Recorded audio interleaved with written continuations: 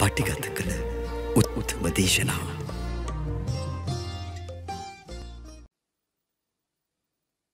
මේ හතිය කියන වචනේ ගැන මේ අහනාම එකක් නේ හතිය කියලා අසනීපෙකුත් තියෙනවා.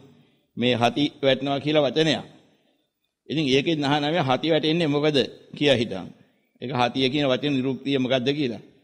යම් කිසි දෙයක් අපි හයන්නේන් පෙන්වන්නේ. යහපත් දේවල් වලටත් පෙන්නනවා. හා කියන වචනේ හා කියන වචනයක් තියෙනවා. මොන දෙයකට හරි කැමති වෙන යහපත් වෙන දෙයක් තියෙනවා නම් ඒක පැත්තකින් තිබ්බොත් එහෙම බාර ගන්න නැතුව. හොඳ දේවල් පැත්තකින් තිබ්බහමත් ඒ හේතුවෙන් ඇති වෙන වෙහෙසක්. යමක් හා කියන වචන ගන්න දෙයක් තියෙනවා නම් පැත්තකින් ගන්නෙ නැතුව. ඒව බාරගත යුතු දේ බාර ගන්න නැතුව. ඒක විපාකයක් වශයෙන් හතිය කියන රෝගේ එනවා. හති වැටීමට හේතුවක් වෙනවා ඒක. හති කියන වචනේත් ඒ වගේ එකක්. මහන්සිය. මහා අන් සිය කියන එක මහන්සිය වෙනවා.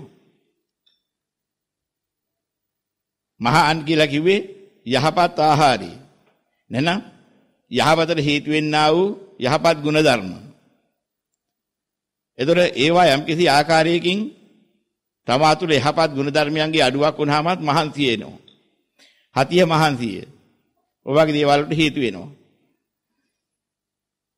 ඉතින් ඒක විවිධාකාර ලෝකේ අල්ලා ගැනීම නිසාමයි එන්න කළ යුතු දෙයක් නොකළ ඉඳීම නිසා ඒ වගේ යම්කිසි වැදගත් දේවල් අත්හැරීම නිසා ඒකෙන් හට ගන්නා මේ හතිය මහන්තිය කියන රෝග. අපි ඉස්සෙල්ලා කියා දුන්න එකක් මොකද්ද? ඇදුම සහ පීනස කියන වචනේ ගැන. මව්පිය දෙදෙනාගේ සම්බන්ධයෙන් හට ගන්න රෝග දෙකක් ඔය කර්මජ රෝගය කියලා පෙන්වන්නේ. හැබැයි සියල්ලන්ටම තියෙන හති මහන්තියලා ඇදුම කියනවා. ඉතින් ඔය සාමාන්‍ය තිබෙන්නා වූ රෝගාබාධිලා පීනස කියනවා. ඒක නෙමෙයි මේ කියන්නේ. කර්ම ශක්තියෙන් කර්මජ රෝග වශයෙන් හටගන්න ඇදුමක් පීනසයක් තියෙනවා. උම කියන වචනේ පෙන්නන්නේ මාතෘ මව්. මව්ට ඇද කරන ලක්ෂණය සංසාරෙදි කළා නම් එහෙම. මව්ට ඇද කරනවා කියලා කියන්නේ කොලොප්පම් කරනවා. කියන ඒවාට විරුද්ධව කතා කරනවා. යහපතට කතා කළොත් බයිනවා.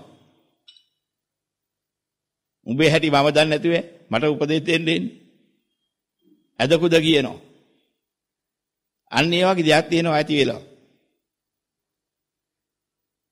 උමට ඇද කරපුවාම ඇදවුම ඇදුව වෙනවා. සංසාරගතව ඇදුම රෝගය හැදෙන්න තිය කර්ම ශක්තියක හැටි. අපිට ඔක තේරෙන්නේ නැහැ එහෙම එකක් තියෙන බව ඉතල බරපතල බව. ඊට පස්සේ තව එකක් තියෙනවා. පියා කියනවා යහපත් දෙයක්. පියා කියන දේ නාසනායේ ඉන්නවා. පිය නාසන එක තමයි පීනස වෙන්නේ. ඇදුමයි පීනසේ කියන එකට හේතු දෙකක් තියෙනවා සංසාරයේ පොත්වලෝක නැහැ. ඔය වචනේ නිරුක්තියක් තියෙනවා. තවදුරටත් සියුම සත්වයින්ගේ ස්වභාවය හිතලා බැලුවොත් බලාගෙන ගියොත් ඇදුම පීනස හැදෙන්න මුල සසරේදී මව්පියන්ට කරපු අවේද අසාධාරණ. ඉතින් කියන්න විදිහක් නැහැ සමහර කෙනෙකුට හිතෙන්න පුළුවන්. අපි කාටවත් එහෙම කරලා තියෙනවද කියලා. නැත් අනන්ත සංසාරයේ කරපු දුක්ගැහැට කම්කටරු පව් කොච්චරද කියලා අපිට කියන්න බෑ. අපි කරපුවා. ඒ නිසා අපි ඒ වැඩි දකින්න ඕනේ ඉදිරියට මගින් කවදාවත් එහෙම දෙයක් නොවේවා යම් කිසි දෙමව්පියෙකුට. මගින් යම් අවඩක් අසාධාරණයක් අනන්ත සංසාරයේ බලන් සිද්ධ වුණා නම් අද මේ කරන පුණ්‍ය පින්පෙත් ලැබිලා විහිදිලා එයාට පිටලා සුගිතමුත් වෙලා මගේ මින්මතුවත් කවදාවත් එබන්දක් සිදු නොවේවා කියලා අදිෂ්ඨාන කරන කටයුතු කරනකොට ඇදුම පිනස හොඳ වෙනවා. කර්ම ශක්තියේ මේ ඔවා හුඟක් ගෙවන්න පුළුවන්. බේත නෙමෙයි කරන්න තියෙන්නේ ඔය හේතුව කපා හරින එක. කර්ම වේගී කැපෙනවා. තමන් කරන යහපතින් වරද වරද හැටියට දැකලා ওই විදිහට වන්දි ගෙවලා ඉවර කරගත්තොත් හේතුව කැපෙනවා. ඔවා කර්ම රෝග නිසා කොච්චර බේත් කරලා තැරෙන්නේ නැහැ. කර්ම රෝගයන්ට අවශ්‍ය කරන ප්‍රතිකර්මය වික්‍රමයට කරන්න ඕනේ. හා හා කියලා බාර අරගෙන පැත්තකින් තියා නිකන් ඉන්න ගති ලක්ෂණ තියෙනවා. කාගේ හරි වැදගත් වැඩක් බාර ගන්නවා කරලා දෙන්න. හා. එයින් බලපුවහම පැත්තකින් තියා නිකන් ඉඳලා කරලා නැහැ. රවට්ටනවා.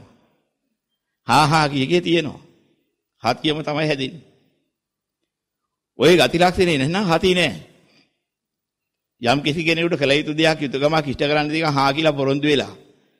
ඒක බහා තබලා නිකන් හිටියානම් හා කියා තියපුවට තමයි හාතිය හතිය වෙන්නේ. ඉතින් ඒ නිරුක්ති දකින්න ඕනේ, ඩිලක් හැදින ඕනේ හැදෙන ක්‍රම ක්‍රම තියෙනවා. මෙතෙක් දහම් ඇහු සෑම සියලු දෙනාම අප්‍රමාදව මේ දහම් තුලින් ලෝකේ බලාපොරොත්තු වෙන්න එපා. නිවන බලාපොරොත්තු වෙන කටයුතු කළා අප්‍රමාද නිවන් දකින්න අදිෂ්ඨාන කරගන්න සෑම සියලු දෙනාට යහපතක් වේවා.